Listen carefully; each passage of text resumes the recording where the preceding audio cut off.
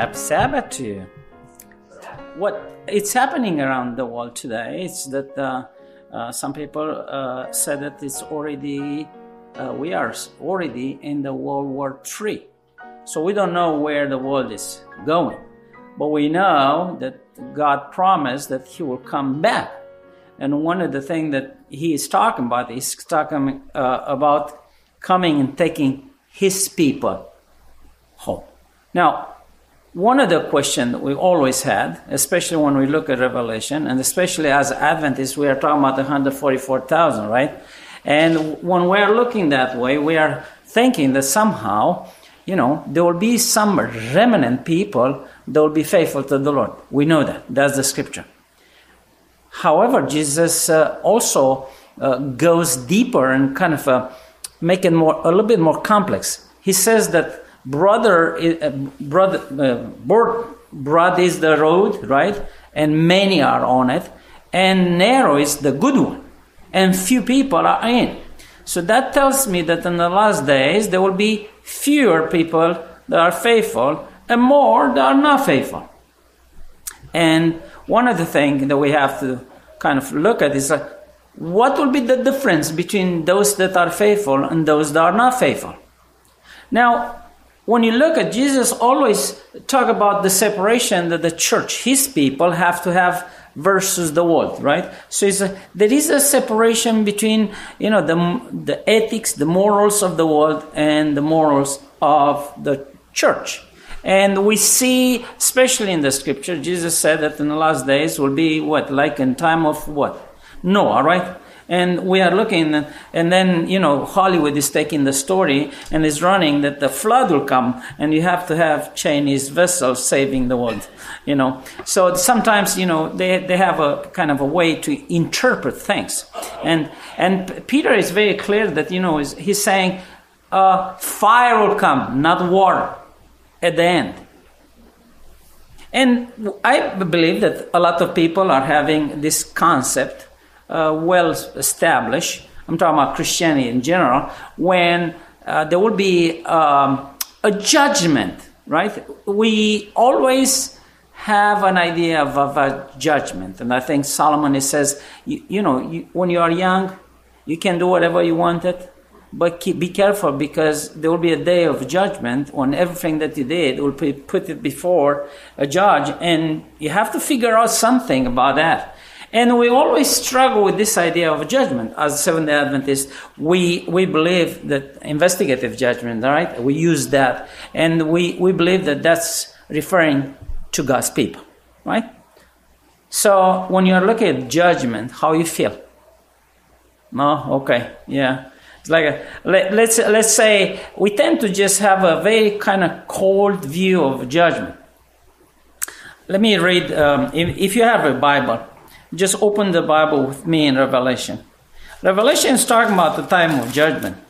And if you look right there in chapter 20, uh, ver- verse 11, it says, Then I saw a great white throne and him who sat on him, from whose face the earth and the heaven fled away, and there was found no place for them. That means for the earth of the earth, you know, the face of the earth and heaven. And I saw the dead, small and great, standing before the Lord, and books were open. And another book were open, which is the book of life. And the dead were judged according to their works by the things that were written in the books. So now it's interesting because you know when you look at the scripture, we tend to just look at and and taking quite literal, right? Uh, so today, do you see heaven having books? Uh, why? Because we start having clouds of information, right? Right now, you put your picture and they go somewhere, right? We call a cloud, right? So um, now that that opens our imagination to a different way of what is here, books. God has a way where His knowledge is put before the universe that they can find everything that we did in every moment. So, what God is doing is put, put himself open and say, Look at what I know about everyone. Make your own, let's say, judgment. Because everything that God is doing, it's a public display. He's not hiding. So we, we see that. And many times we, we look at a judgment as a very scary thing.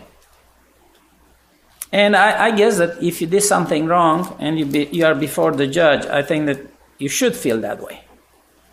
But what about Christians? When you are coming before the Lord, what will be your feeling? Are you feeling fear? Are you feeling that you are scared? Are you afraid that something bad will happen to you? And I think, you know, we may have those feelings because we will not understand what the judgment of the Lord is all about. And that takes me to a different book, that's Daniel.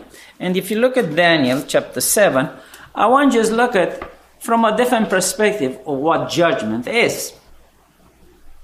Okay, so, um, and uh, I only invite you that you will just underline or just circle or just put a mark on your Bible about this text because that will take the fear away. Now we know that Jesus, when he was talking about judgment, he said that those that are believing in me, they pass the judgment. So suddenly, God's people should not be afraid of judgment. So how we should understand judgment?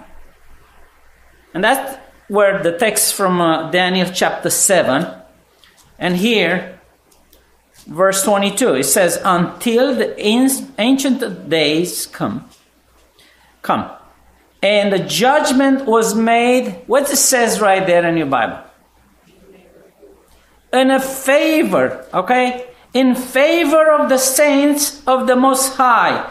And the time came from the saints possess the kingdom See, it's like a, you know, many times we are looking the judgment only in negative way. And that's why we tend to be afraid. But here's a, you know, the, the text that is telling us here in Daniel is that the judgment is made in your favor. Now, let's say that you have a relative or let's make it even more uh, more close a spouse and um, the cop stops you and you have to go to the judge and you go before the judge and it's your husband or your spouse.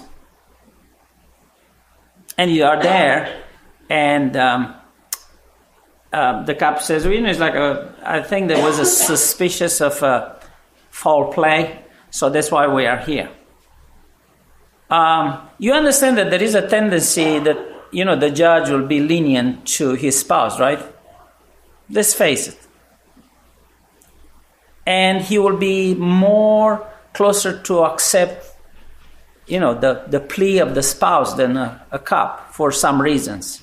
Yeah, we try to just, you know, present the macho type of judgment, you know, judge like Judy or whatever, you know, it's like, a, okay. So, um, but, but keep in mind that, you know, when we come before the Lord, God always will try to put on your side everything that will make your situation much better. So when it comes to, to judgment today, I want you to, to open the scripture with me in Matthew. Matthew, today we'll, we'll, we'll study a chapter. Okay, Matthew 25. So Matthew 25, it's a, uh, it's a, uh, let's say the continuation of uh, Matthew 24, which Jesus is present in the last events. And he's talking about the tribulation, the wars, the social unrest. And we see that today. so, Matthew 25 is presenting us three parables. So let's look at over and how those parables could apply to understanding of the selection of God's people. So, we start with the first one, which is about 10 virgins. How many? 10. And we already know, and if you look right there, uh, verse 2, it says, Now five them, five, five of them, they were wise, where five were foolish. Now, if you have to choose yourself on which one you want to stay, uh, right? It, it, I think that, you know, we all will try to stay where they are called wise. I like to just be called a wise person, right? A wise virgin. And seems to me that they were wise and foolish not because of what they have, it's what they did not have. So, what was the, the message of those 10 virgins? Oil. All right, oil. Now, here's the problem. Do you see that right there? 50% are foolish. Can I put it that way? That's a problem right there, okay? Now, we may look at the percentage and we may get the wrong idea, okay? But just keep in mind that Jesus is talking about us. This is not about the world, it's God's people. So, somehow, we are wise or foolish based on a decision. And what is the decision that makes the difference? The quantity of oil. If you look right there, let's uh, let's go very you know very quick through the story. It says those that were foolish, verse three, took their lamps and took no oil with them. That means there is no reserve. Who needs a reserve?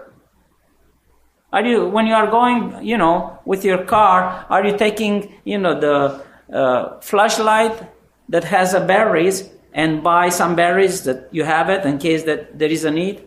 We tend to just be very secure that everything will be fine. I can call someone and they will come and pick my car if I'm getting myself in trouble. But suddenly you are getting somewhere where you don't have signal and yeah, and sometimes we are short of uh, understanding mechanics, okay? But that's that's okay. Here's the thing. The foolish one, they had the light but they didn't have, they consider that they don't need the reserve for, for oil. Why? Because they, they thought that Jesus is coming very soon, the bridegroom. And somehow, maybe that's where we are too, because we're thinking Jesus is coming in 80, 88. Hmm? Isn't? Yeah, I'm talking about Seventh Adventists because Millerites were 44, right? So when you look at, we always, we're looking and say, oh, Jesus is coming now, right? And sometimes we prepare ourselves on the short term for the coming of the Lord. We may say that, you know, Jesus will come, you know, before I'm retiring. And then the retirement comes and I don't have enough to kind of have my life. Right? Because I didn't prepare for retirement. Uh, you know why uh, Seventh Adventists don't have cemeteries? We have few historical ones. You know why? Yeah, because they believed that Jesus coming before they were going to be dying or dead, being dead. We believe that Jesus is coming. We don't need anything. I- imagine if you'll, you know, have a strong faith that Jesus is coming next month. The thing that you'll take care of your roof anymore? Do you think that you know it's like a, you you'll change the engine from you know the broken engine, put a new one, you know? Uh, do you think that you'll go back to the job that you hate for like last five years, and you'll say, "I'm, happy to be here and working till the end. Uh, Jesus is coming." See, because that's exactly what happened in 1844. People kind of give up on everything, property and everything, and they said, "Oh, well, we are waiting for Jesus." See, the problem with the foolish virgins were that they thought that we have enough for now. Why need to take too much? You know, oil stains. Yeah, if you work in your car, you, you, you see what's happening in your hands, you know, after you just put your hands uh, around the engine, right? Why? because somehow oil is dirty or clean.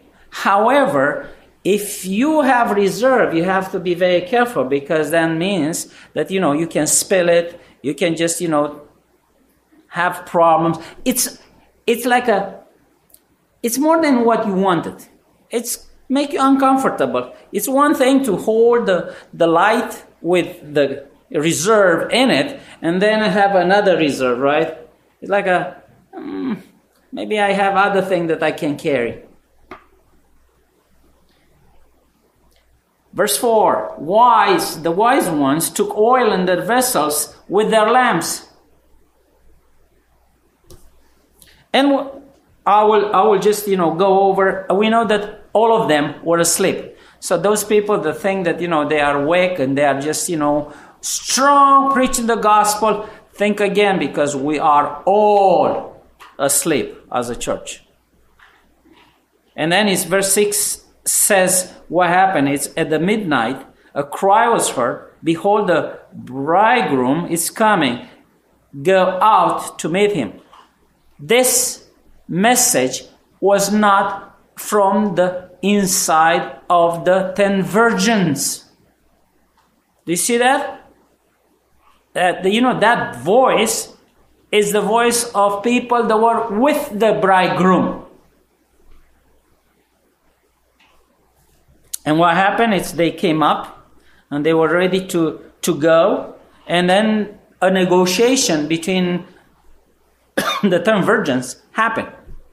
Um, they realized that uh, somehow during the time that they were asleep, the, the candles were just, you know, sipping the oil. And suddenly they realized that they have just little of oil.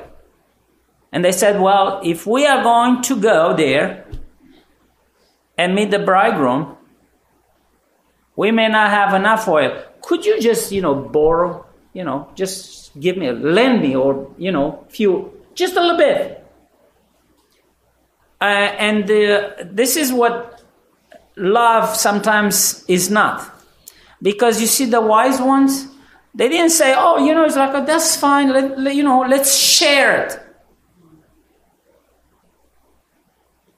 Don't condemn them. Because it's easy to say, why they did not share someone with how hard is to give a little bit of oil to why you are not doing that? Because you, you are living together. You are, you know, you are in the same room. You are, all the people are sleeping. And suddenly you are saying no to request just because somebody, you know, like a, you know. So if you have to tra- travel a day and somebody doesn't have enough gas, are you going to just, you know, kind of use a siphon and just take some gas and just give it to other people? Or you're saying, well, the gas is all the way to the travel. I'm not going to give it to you. That will be considered nasty, not helping. But see, the, the wisdom stays on the principle. And one of the things that, that the, this parable is presenting is whoever is wise are making the right decision. The last thing that I want to mention about this the ten virgins are not the bride. Just remember that because too many of us we think that you know it's like we are the bride. No, you are not the bride. We are the people. How say the bride? What? What do you say about somebody is coming to the wedding but they are not the bride? Say again? Yeah, well, I don't know. It's like, a, you know, it's like a, the group of people that are just there, okay, with the bride. All right. So, now, one of the that, you know, this parable is all about, if you look at the message of the parable, is that, and you'll find that, that uh, uh, message in verse 13. It says, Watch therefore, for you know neither the day nor the hour in which the Son of Man is coming. That's the message. So that means be sure that you have reserve for the future. Be wise. And how you do the reserve? It says, uh, Jesus said that if you call and ask in my name, God will give the Holy Spirit to you. And many times we, we don't dare to use the Holy Spirit that way because there is an issue about the Holy Spirit, and I, discuss. I will discuss maybe in a different uh, discussion, a different sermon about the fear that we have against the Holy Spirit, because He's coming and will take control over us. It's not like I'm controlling the Holy Spirit; He's taking over me, and I'm under His control.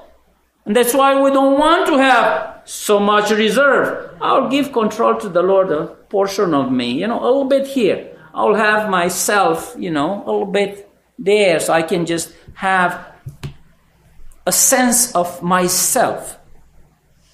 All right, so this is one of the, the let's say, um,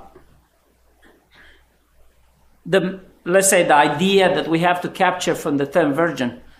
Have enough Holy Spirit. Can I repeat it again? Let me repeat it. You have to have enough the Holy Spirit. Don't ask me how what is the enough because that means every one of us we have to just have that connection with the Lord and God has a way to bless us and he is overflowing his blessing. So he'll not just give a portion of it, just a little bit. He's giving you more than you need.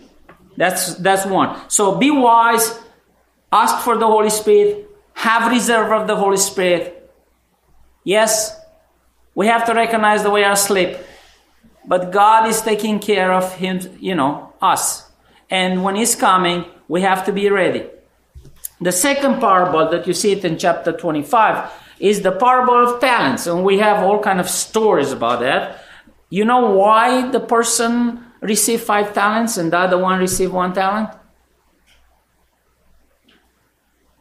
Well, you know, it's like a, that's what you call predestination. Is that what people are saying? Why, you know, why the, the master had 10 talents, right? Um, I don't know how we can just put this way. Let's put it a million dollars because it makes more sense for us, right? But it's like, a, you know, uh, let's say that you, somebody has a $10 million and somebody is giving you five and give two and one million to three people, right? We have the parable. Why you give the five million, millions to one person and two millions to other and just one million to because I'll, I'll, be there and it's like you know it's like a, oh you give me just a one million see it's so easy to look at at bad people right? And the bad person is the one that gives the money. Because the you know the the the meaning is somehow the guy that got one talent point the blame to the master to the owner of the money. Here's what it says. It says um,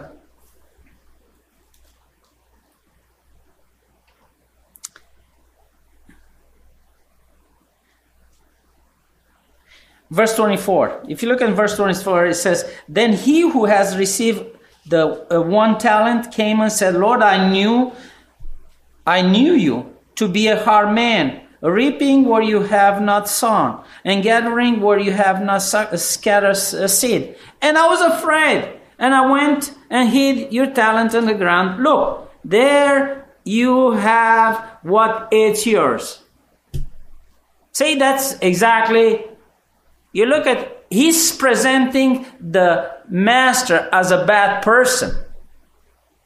Of, of course, it's like, I'm afraid of you. It's like, oh, just, you know, just, you are not nice to me. Is that what we do with people today? That's when you project your own inability on other people. But I ask you a question, I give you I didn't give you an answer, right?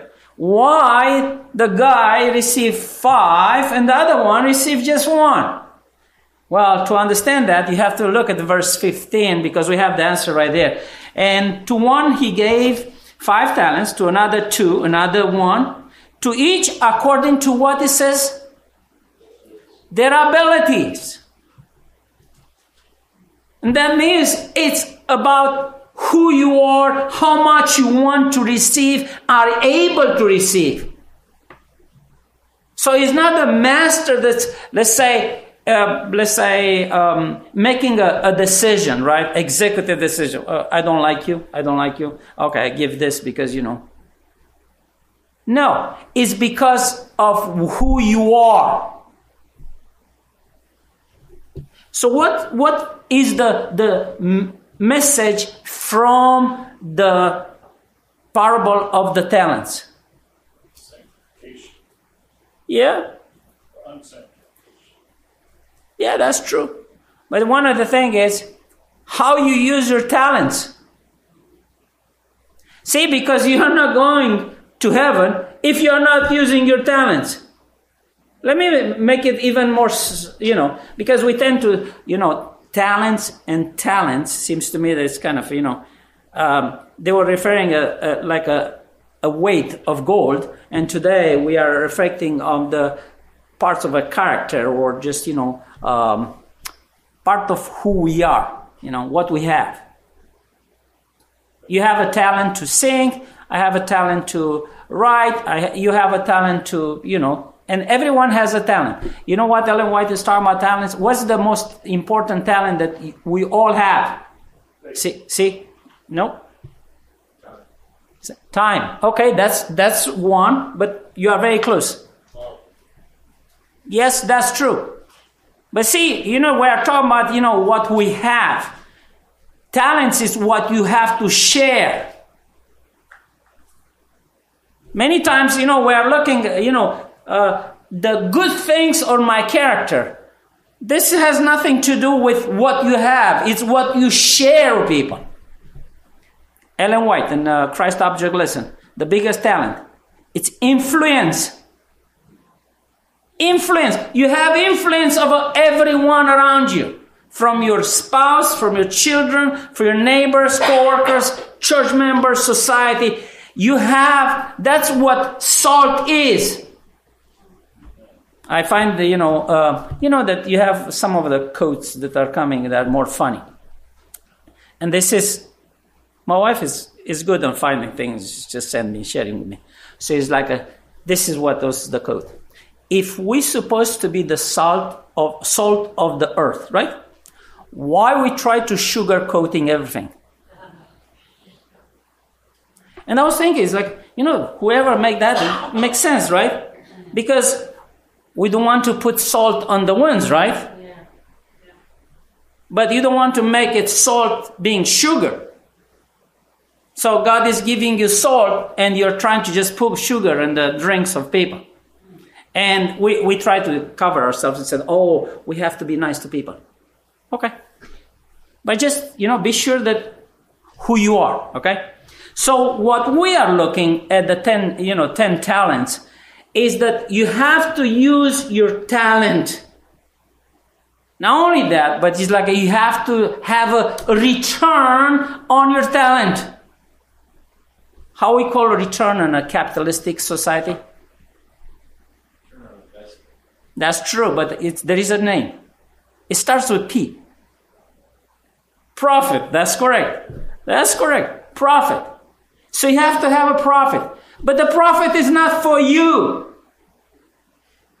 It's for the master because actually what happened, the one that had two talents and five talents, they return on investment like a hundred percent, right? It was just five talents. They got five more got two, he got two more. Now, what the story is telling us that the master is not taking their money. Do you see that, that story? How many talents the, the one that received five had at the end? Wrong. 11.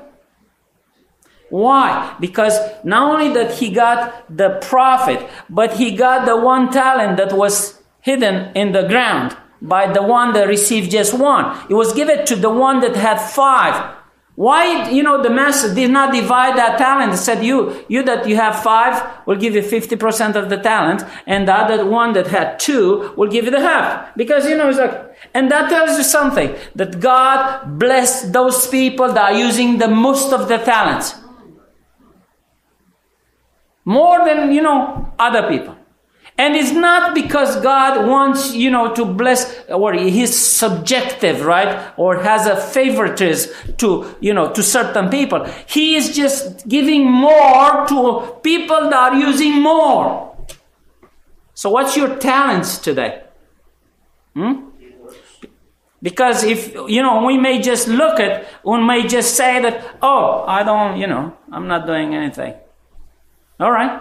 So what do you do? You, you dig a, a hole, uh, you know, in the back of the house in the yard and just put your talent over there and say, ah, you know, I'm looking around. It's like a, hey, give me just one.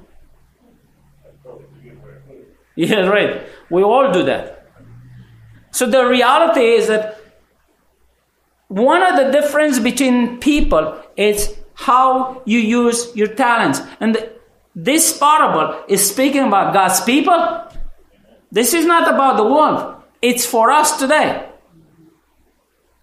So when you look at and uh, you're kind of uh, back of your mind, how many talents you receive? At least, do you know that you receive the talents? Are you using those talents? Because that's the, the idea. You know, those that are using the talents, they will go further those that did not use the talents, they will not cross the line. Okay, so we have foolish ones that are not crossing the line, right? They are not received. And then we have one that had talents, but he didn't use it. He's not there. So let's look at, at the third kind of a situation. And I know that we are not, uh, you know, I, I used to, you know, live at what is called a big city. So for us, the only time that we can just see animals was when I'm going to my grandma or some relative that were just in a village. And talking about, uh, you know, it's like a, um, the birds that covered the hens. I think that, you know, Christine said that in the Sabbath. But um, there, there was this hen that has a, you know, black and white kind of uh, feathers. And I really like it. So I was trying to just, you know, catch her, just hold it. But I was running and she was running and she was running and I was, you know, running till there, uh, there was a moment that kind of give up. So she would just sit right there. So I'll go there and just pet her for a while till she would get her a little bit of strength and just she will run away. So the only thing that, you know, I'm talking about animals many times doesn't make sense to us with what it's in the scripture. So, but let's read the, you know, a little bit about the third parable. It says, verse 31 When the Son of Man comes in his glory, and all the holy angels with him, then he will sit on the throne of his glory. When Jesus will sit on the throne of glory? Uh, by this text. When he's coming. Okay? So I will break your mind a little bit with this text because you know it's like a uh, we we tend to have our own kind of a, uh, lineage of events, and this is kind of breaking that because it says when the Son of Man comes in His glory, and that means the second coming of Jesus. Okay, and all his holy angels with him. Then he will sit on the throne of his glory. And all the nations will be gathered before him, and he will separate them one from another as the shepherd divides his sheep from what? Hold on a second. Is this, you know, sheep and goats are sheep are good people and goats are the bad people? Do you think that that's a, so if you want to just, you know, choose which one you'll choose? Goats? Sheep?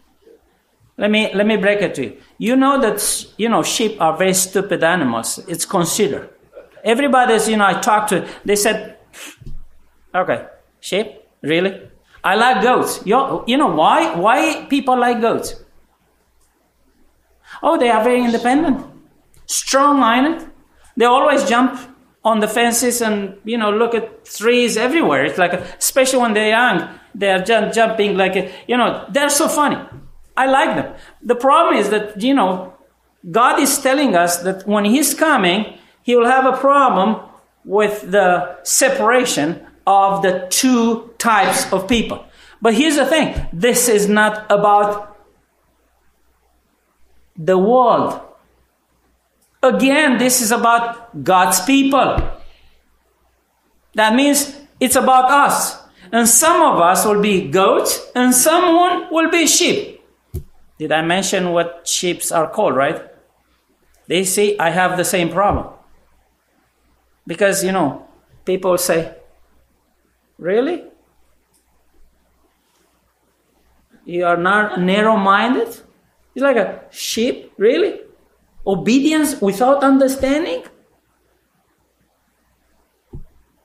Who will choose to obey? We have a, you know, the song "Trust and Obey," right?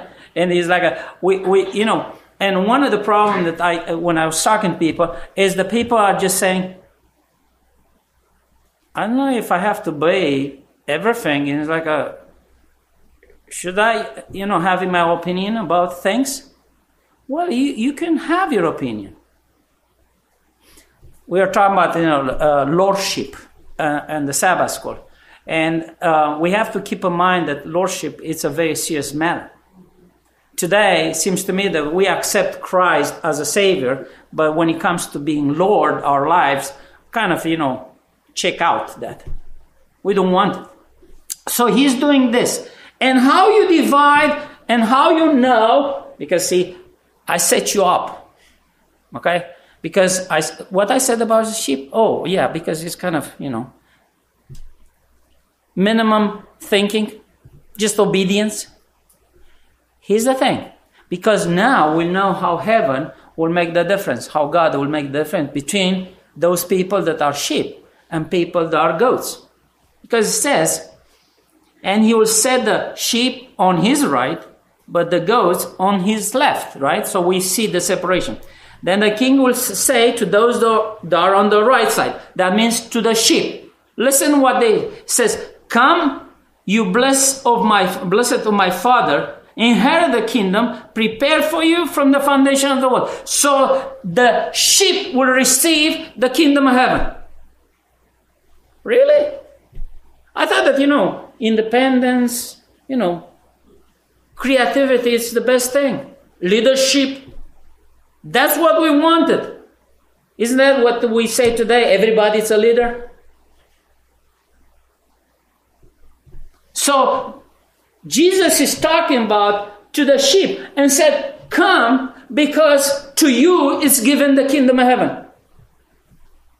It must be that God is biased. He likes sheep.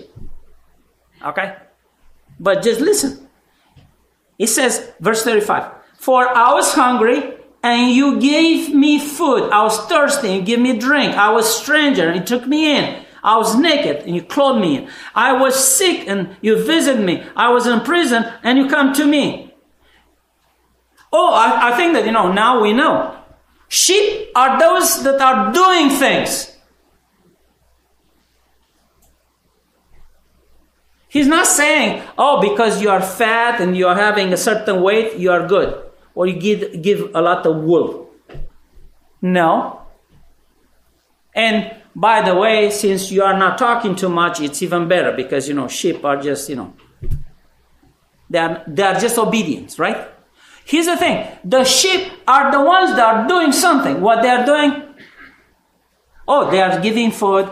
They are doing, you know, uh, drink. They, they give clothing. They are visiting people. They go to hospitals. They, you know, prison and everything else. But there is something else. Because the sheep are talking. Because you see, that's the beauty of the parables, right?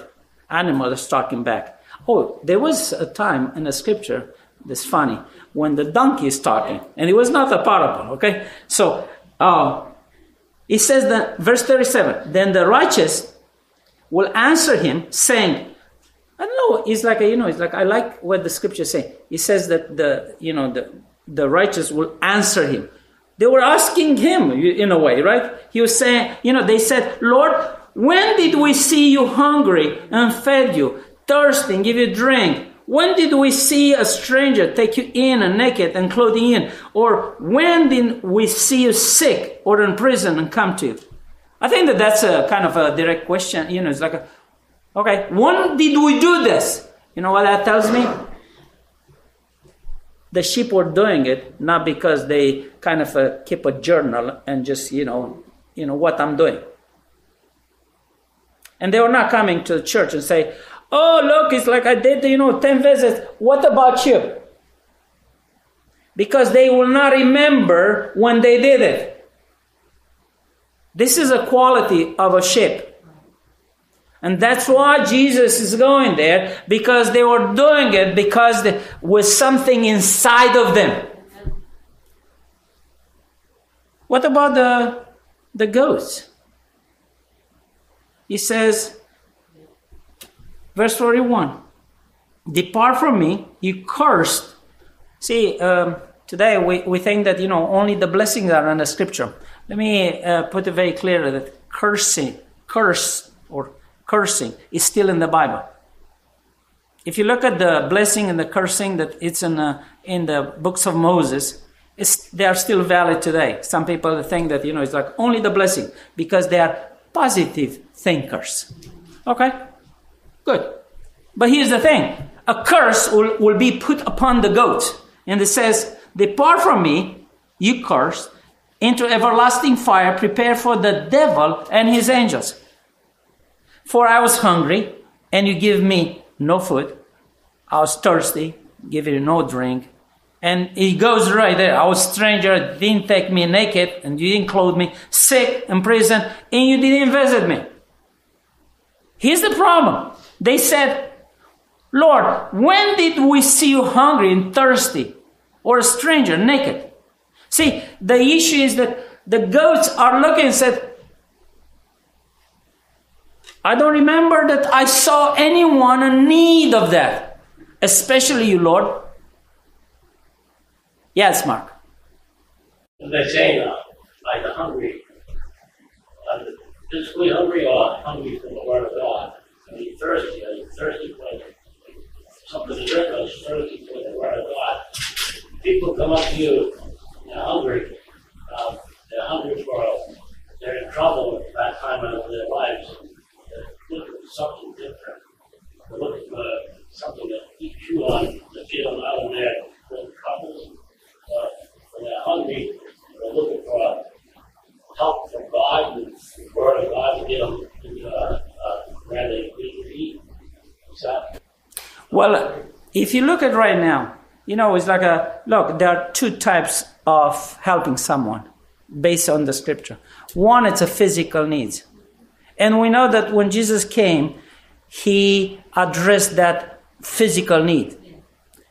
But you know, all the miracles that Jesus did, he was not taking only the physical suffering, he was taking the spiritual suffering too. So when he was doing the healing, he healed the, the flesh and the spirit at the same time. And this is what it's missing in our life today. Because we may be a Bill Gates that give food to Africa, but if there is no spirituality, we just, you know, give because we are good people. The issue here is not, eh, the, you know, if you are a good person or not. If you are one that are doing that because or in his name or not. Because we can do, you know, what uh, uh, Paul says in First Corinthians. I can give my body you know, as a sacrifice, but will not count. So you can, you can just take all your wealth and say, Lord, you said to the rich man that, you know, I have to sell and give it to the poor. Give it to them. But that will not count anything toward your, you know, salvation. Why? Because salvation is not coming to what you're doing. It's by the obedience that you have. Because here's the thing. He says, that's a response of Jesus in verse 45. Assuredly I say to you, in, in as much as you did not do it to one of the least of these, you did not do it to me. So let's address one of the issue here. So this parable tell us that the difference between the goats and the sheep is what you do in the church, in the society, around you. It's like a, and the issue is that if you do this for you, then it stays for you. Because Jesus said, whoever receive, you know, the, the applause of people on this earth, They already received the benefits of that. You're not going to have anything in heaven. So, doing things, and we are focusing on uh, doing things. Here's the thing. Do you understand that all those three parables are coming together?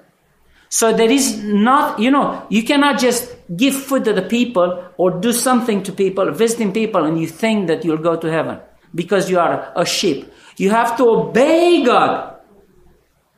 You have to just use your talents. You have to just be wise and have the Holy Spirit that will lead you. Because the Holy Spirit will take you to a person that in need. The Holy Spirit will bring a person in your life that you, you, have to realize that that's an opportunity for you to reach out to that person spiritually and physically because james says that you can pray to people and say god bless you and go along because you know we pray for you i see today most of the time when something bad happened, the government is saying well you know our prayers are with the family of the victims really one that you are taking God out of school and out of the society, then you are saying praying is like a, it's a magical words praying. To whom you pray? To Hindu? To Buddha? Really? But it's nice, okay? So we try to be nice. Now, being nice, one thing, doing the right thing is another total thing. Because the reward is heaven. However, you are not receiving reward because of what you did. It makes the difference between those people that are faithful to God and those people that are not faithful to God. So do not take by saying, "Oh, I'll start, you know, doing something today because then uh, I know that I'll be a sheep." Having the sheep characteristics is not in what they do It's who they obey. Again, he says, look, it's like a. I'll read again verse 40 because I didn't read it at that time.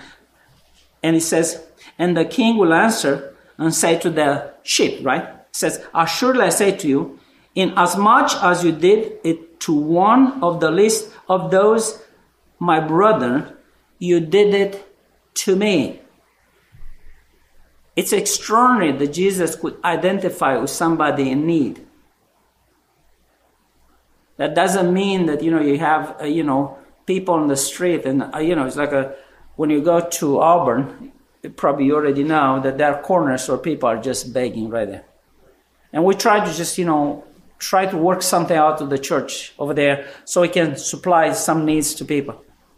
They don't like vegetables. They don't like food. They don't like drink. They don't like anything but cash. And then suddenly, you know, there, there are certain other issues right there. Now, here's the, the problem. Now, I ask people, and just like, you know, it's like, a, are you still feel comfortable to help people? Well, you know, some people say, well, the government is doing a pretty good job. They, they have shelter, they have things. Yeah, but that's not the question. It's like how you help people. How you help people. And one of the issue of, you know, the difference between goats and sheep is not about leadership in the church. It's not about who's greater in the church. It's not, it's who's doing the right thing. And you are not doing it because you are going to be saved, but it's a package. So chapter 25, it's a package of three parables that brings together the characteristic of those that will be put at the right of the hand of the Lord. That means that they will receive the eternity, the kingdom of heaven. So I'll repeat. Be wise. Make reserve of the Holy Spirit. This is not an easy task, so don't, don't think it's like, oh, I'll go there in the market and just buy it. I know that it says right there that, you know, the, you know, but you, you'll not find it at Hannaford, okay? So you have to know where you have to go. And you have to ask the right thing. Ask the Lord to have the Holy Spirit. Yes, Joe. That's correct.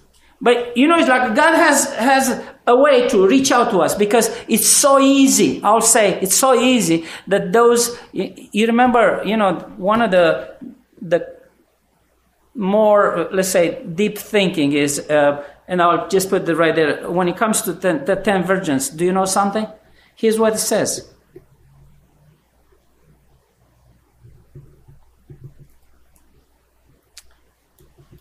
Says verse 10 and while they were went to buy the bridegroom and those who were ready went in with him to the wedding and the door was shut.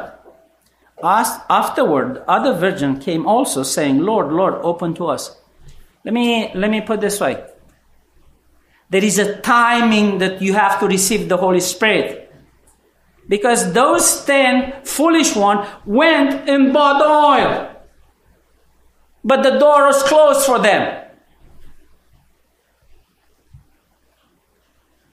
Do you see the problem? Because there is a timing when you have to have the Holy Spirit. You, you can just, you know, do miracles, you can preach the gospel, you can give your soul to the gospel, right? But if you are not doing in God's timing, there is no open door for you. The foolish one you know the difference between smart people and foolish ones? Actually, there is no difference because they will get to the same conclusion, but they will get to the same conclusion at different times.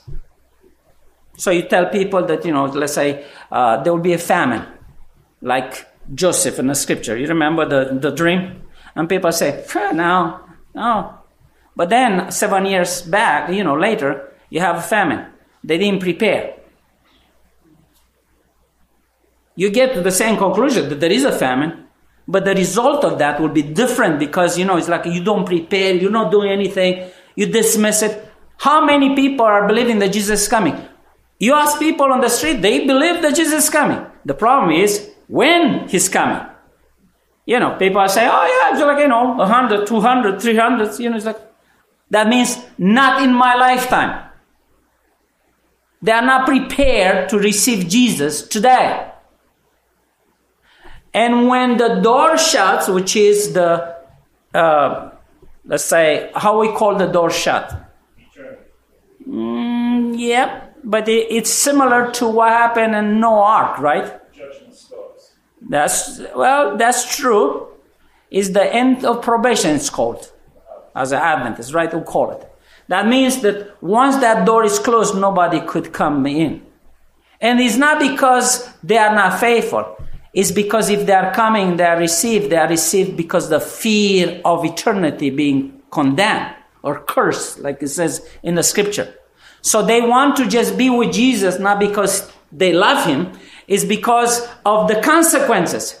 And that's no different than Judas coming and saying, Oh, you know, it's like I sin. He was not crying because he was horrified by the sin. He was crying of the condemnation that comes because of sin. So today, we have three stories. And if you look at, I always tend to play with numbers, right? It, and my mind, you know, seems to me that that's is like 50%, right? Because you can see right there a few times where Jesus talking about two people will sleep in the same bed, one will be taken, one will be left, right? Two people being filled, one will be taken, one will be left. And then we have ten virgin, five it's it's wise, they are wise, and, and five are do you see do you see my problem? But don't f- be fooled by numbers. Because the ten uh, talents has nothing to do with the numbers. The the sheep and the goats is not talking about numbers it's a choice that you have to make. So today, I'm, I'm, I'm putting this this way. The, the story of the sheep and the goats, it's about serving others. So we're talking about talents, and that means how you, uh, let's say, use your talents to bring other people or just develop that, right? It's like a bring profit, we, we mentioned, right? And then we have the story of the 10 virgins. And they are wise and foolish. I think that, you know, that kind of uh, tell you where you are, right? And you have to make a choice yourself what you want to be. You want to be a sheep? You want, because making, you know, being a sheep, it's a choice. Don't tell me that, you know, it's like a, yeah, I'm coming from the lineage of sheep or I'm coming the lineage of goats. That's not a story. It, you know, Jesus presented that because there are some characteristics that the sheep and the goats are having. And you have to choose. And among us, there'll be some people that receive a talent, there'll be two talents and five talents. So what's the, the lesson of, this, of the story? If you got the talent, what do you have to do? Just use it. Not only that, but use it in such a way that you can make a more difference than the one has five talents. And when it comes to 10 virgins, what do you have to do? Pray. Because there is no way that you can just have the Holy Spirit without praying to the Lord to give it to you. There is nothing that you can do to gain more or reserve of the Holy Spirit than prayer. You see the difference between those people that are received to the kingdom and the one that are not receiving the kingdom?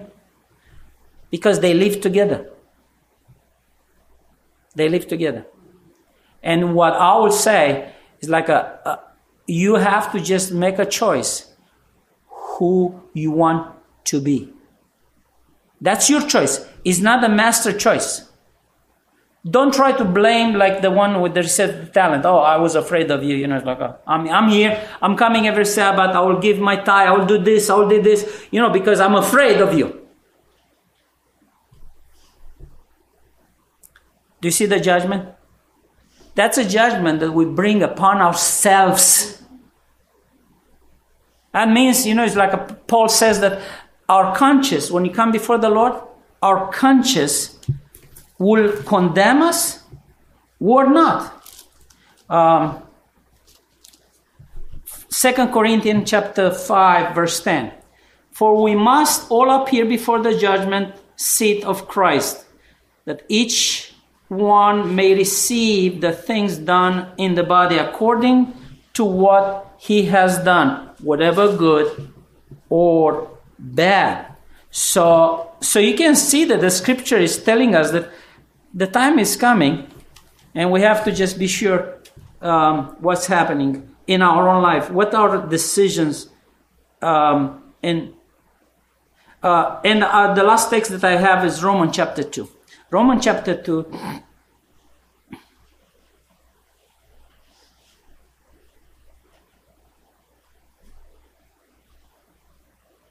Uh, verse 2, uh, verse 2, chapter 2, verse 2. But we know that the judgment of God is according truth to truth against those who practice such things. So, look, judgment is a reality. But we should not be afraid of judgment because God always will put a lot of things in your favor, in our favor. He's trying to work with us. What do you have to do? Pray, be obedient, and use influence, right? Your talents. Use everything that you have that you, you know, glorify God's name. I hope that, you know, today we'll make a choice, each of us, in such a way that God will be pleased and he will say to us, Come in, enter the kingdom, because you are a good servant. Loving Father, we come before you to praise you of your promise that you are coming. And we know that you are coming very soon. So, Lord, today, as we are looking at the word of the scripture and yours, Lord, help us to understand that we don't know the hour when you're coming, but we Please, Lord, work in our lives that we can be prepared for you, for waiting for you, that we will do whatever necessary, that uh, we will qualify to go to heaven in a sense of receiving you in our heart and seeing you and everyone that needs help. Help us, Lord, today that will change our hearts and we become better people, serving you better. Because we ask in Jesus' name. Amen.